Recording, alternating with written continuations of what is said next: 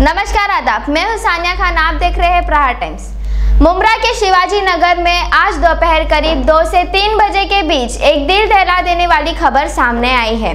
शिवाजी नगर के शिव विलास सदन इमारत के चौथी मंजिल पर एक बुज़ुर्ग व्यक्ति ने फांसी लगाकर आत्महत्या कर ली।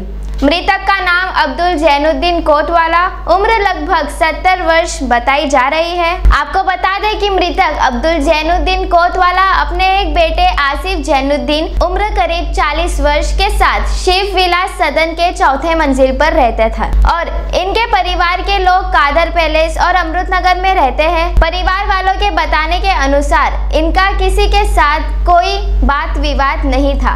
आज आसिफ, जैनुद्दीन अमृत नगर अपनी बहन के घर गए थे और जब वापस अपने घर शिवाजी नगर लौटा तो देखा कि उसके पिता घर में पंखे से फांसी लगाकर आत्महत्या कर चुके थे, जिसके बाद उसके परिवार वालों को जानकारी दी गई और मौके पर पुलिस भी पहुँच गई।